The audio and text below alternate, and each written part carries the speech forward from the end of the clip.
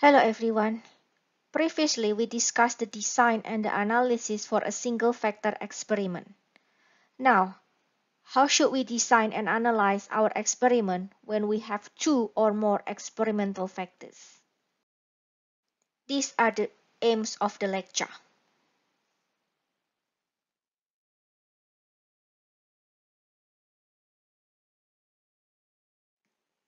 Previously, we considered only single factor experiments. A factor is a categorical variable which can take one or more values called levels. When we have more than one factors, we can either combine the levels of these factors and use the single factor ANOVA or use a factorial design. In a factorial design, we are interested in the interaction between the factors.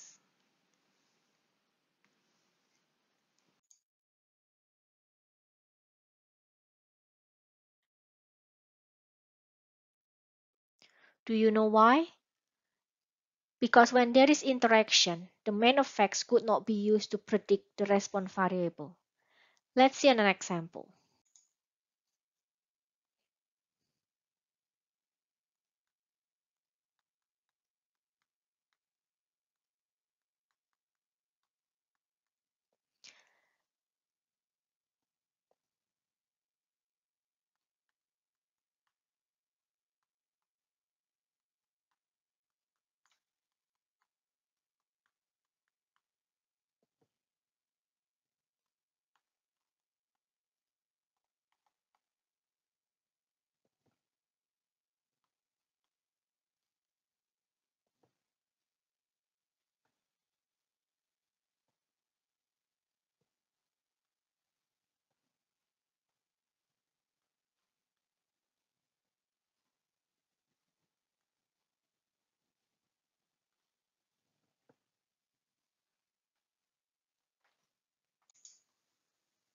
Let's see two possible results in this experiment. The first result shows there is no interaction between P and K. When there is no interaction, the ranking for each factor does not depend on the level of the other factor. So we can predict the yield for each treatment by adding the effects of the main factors. For example, the yield for K1, P0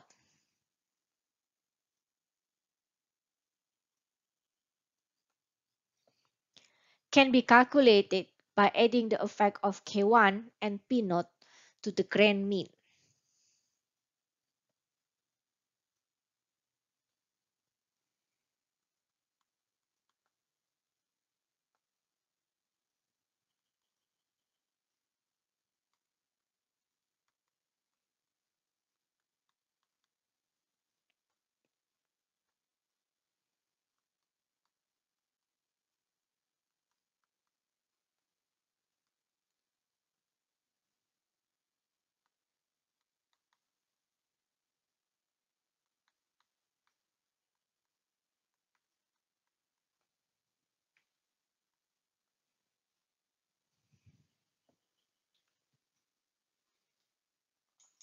The second result show interaction between P and K. When there is interaction, the ranking of one factor depends on the level of the other factor. We cannot predict for each treatment by adding the effects of the main factors. For example, the yield for K1P0 cannot be calculated by just adding the effect of K1 and P0 to the grand mean.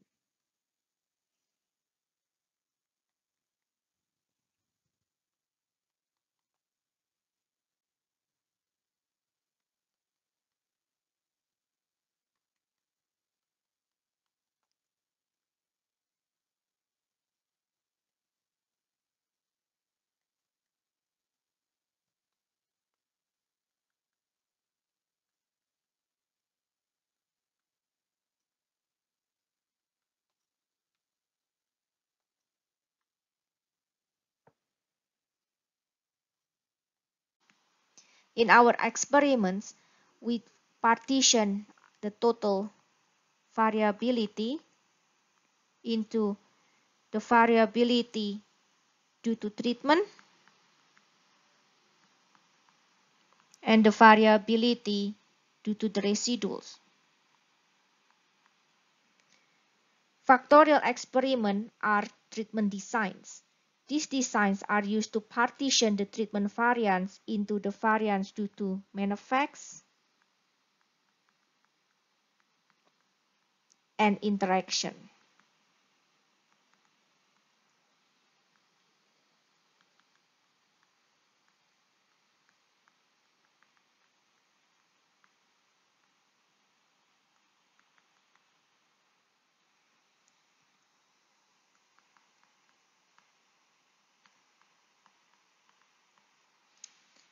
Blocking designs are used to reduce the experimental error variance by partitioning it into the variance due to blocking factors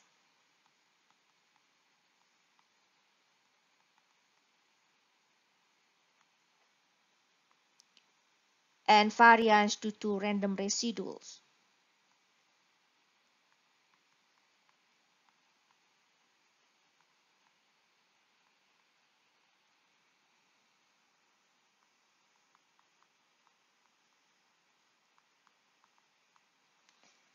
A treatment design is used in conjunction with a blocking designs. For example, a 2 by 2 factorial RCBD.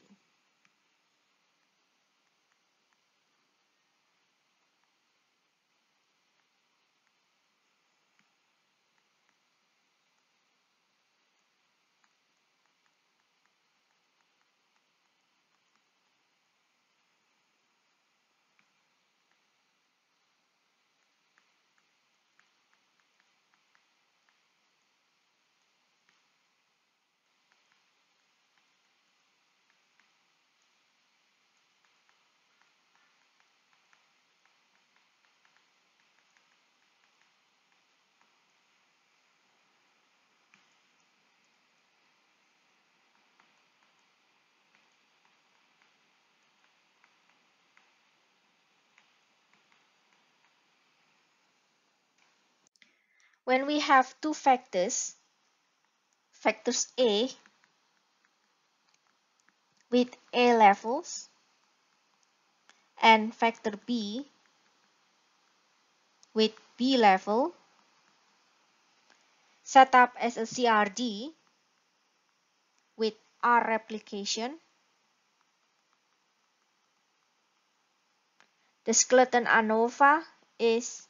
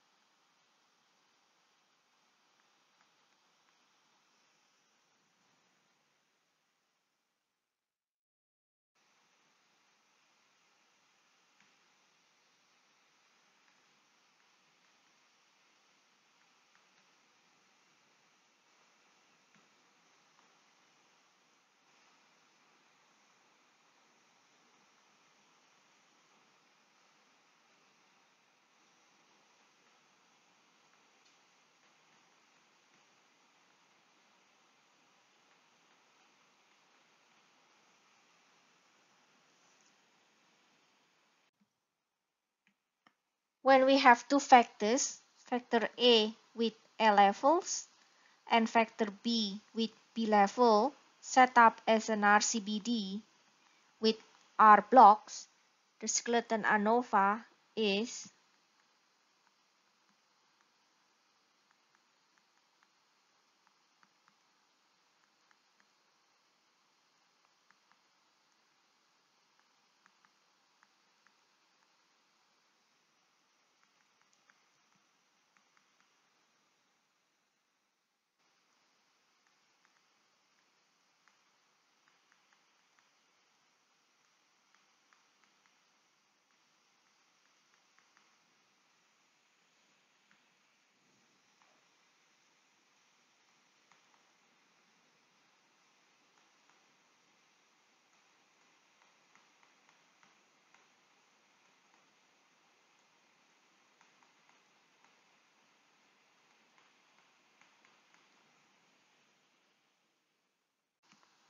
When we have two factors, factors A with A levels and factor B with B levels, set up as Latin square with the number of rows and the number of columns. The skeleton ANOVA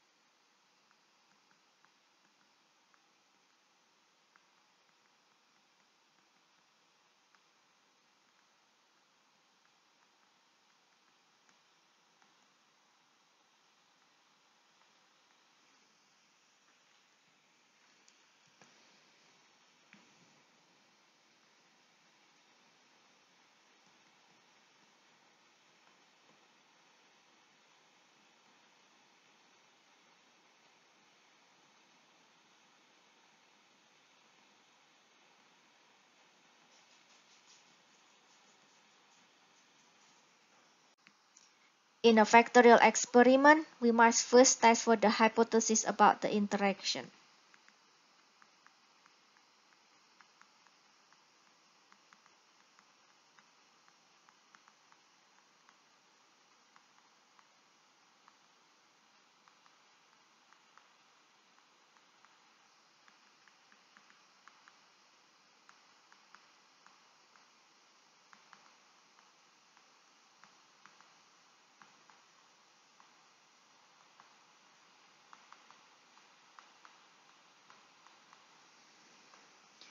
When there is sufficient evidence to reject the null hypothesis,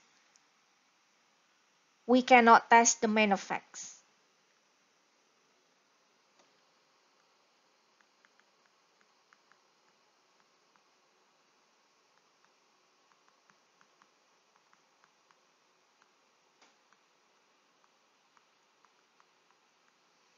When there is not enough evidence to reject the null hypothesis, we can then test for the mains effects.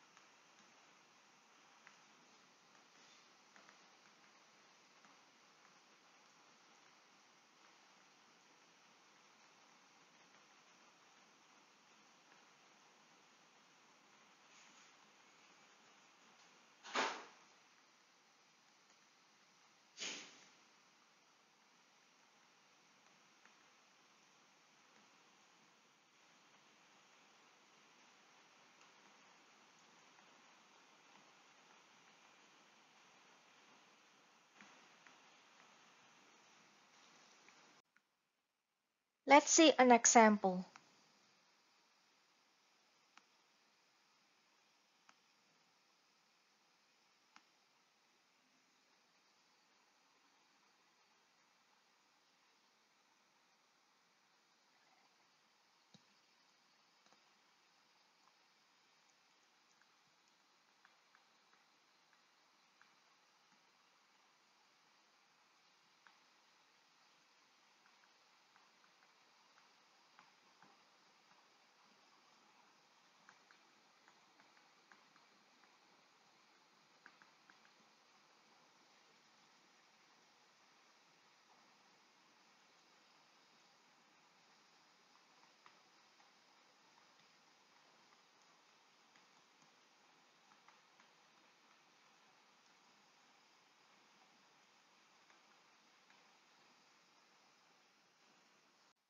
First, do a skeleton ANOVA for this analysis.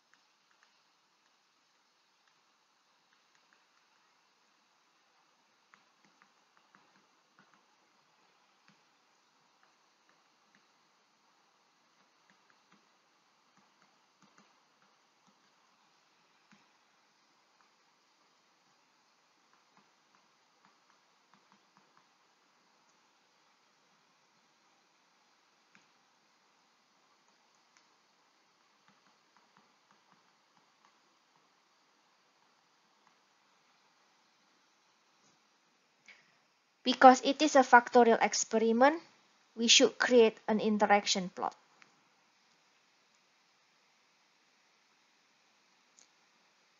Based on this interaction plot, it seems there is no or very little interaction between N and P. Based on the ANOVA, we can conclude that the interaction between N and P is not significant at 5% significance level. Therefore, we can test for the main effect of N and P. The main effect of N P are both significant at 5% significance level.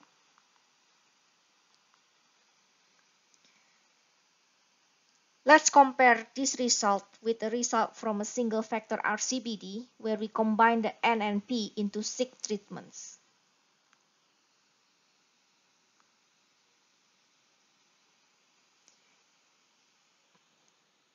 Because the analysis was done using the same data, the total sum of square between these two analyses are the same.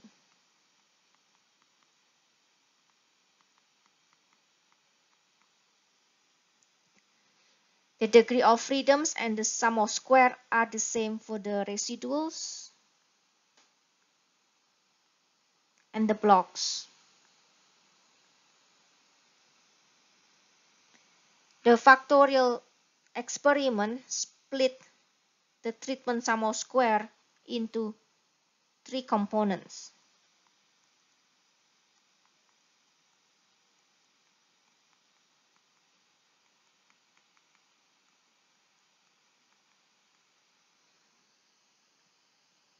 the sum of square of the two main effects and the sum of square of the interaction. The factorial experiment also enable us to test for the interaction. We can expand the number of factors to more than two. This is known as a multi-factors experiment. We use a multi-way ANOVA to analyze this type of experiment. Let's see an example of a three-factor factorial with RCBD.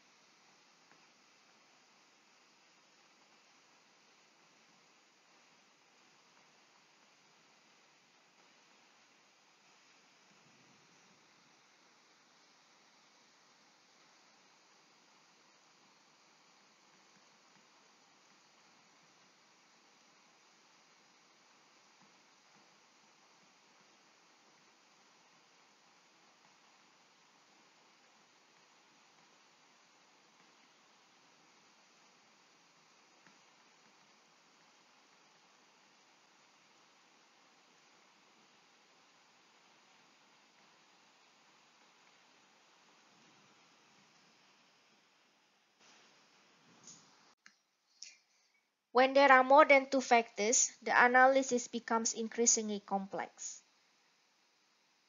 In a two-factor experiment, we only have a first order or two factors interaction, which is relatively easy to interpret.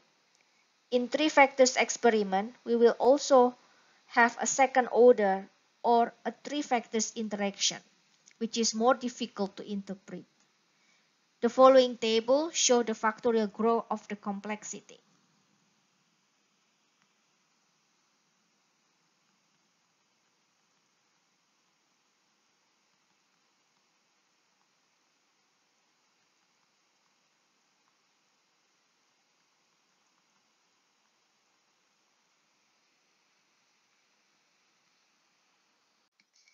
In a multi-factors experiment, the number of experimental units needed for a complete replicate may be prohibitively large.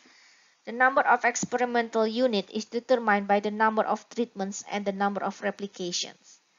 Ideally, we should have at least 12 degrees of freedom for residuals. So, when we have three factors, each with two levels, we have eight treatments.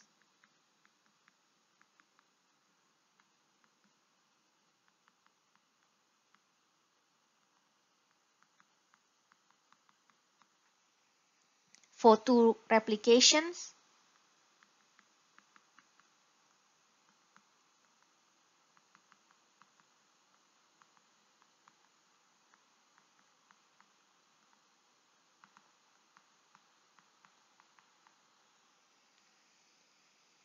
The residual degrees of freedom is less than 12. So we need at least three replications and 24 experimental units to have the residual degree of freedoms more than 12. When we have three factors, each with three level, we have 27 treatments and would require 54 experimental units to have two complete replications. As the number of treatment increases, we will require larger blocks to fit all the treatments. Experimental units in a large block are unlikely to be uniform and will increase the experimental error variance. In a multi-factors experiment, we can reduce the number of experimental units required by using the principle of confounding. There are several options. One, we confound the higher order interaction with blocks. We assume that the higher order interaction is negligible. Two, we use fractional replication, where we only have a fraction of the treatment combination.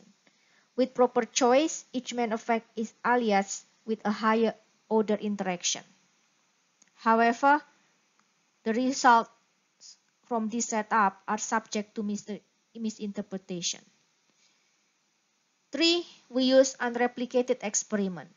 In this case, we use the higher order interaction as experimental error. This approach will affect the calculation and interpretation of the F statistics. Let's see two examples of the factorial experiment with no replication. For a two factors experiment,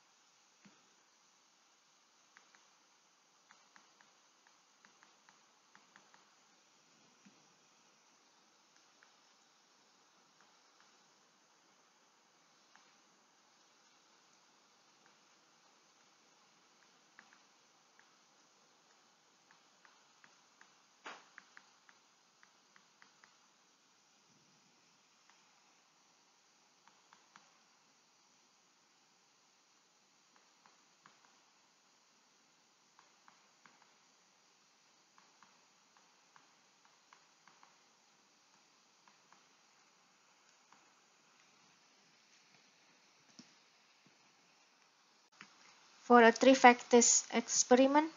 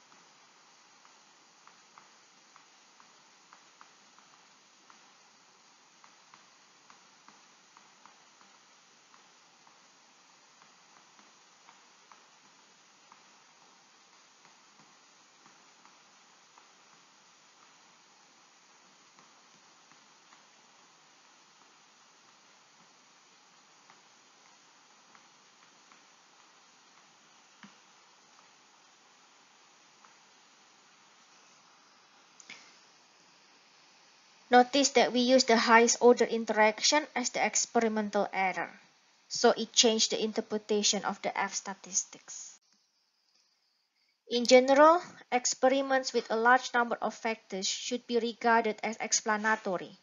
They should be carried out to discover which factors may be important, and two or three factors experiments can be carried out. Now, can you do this?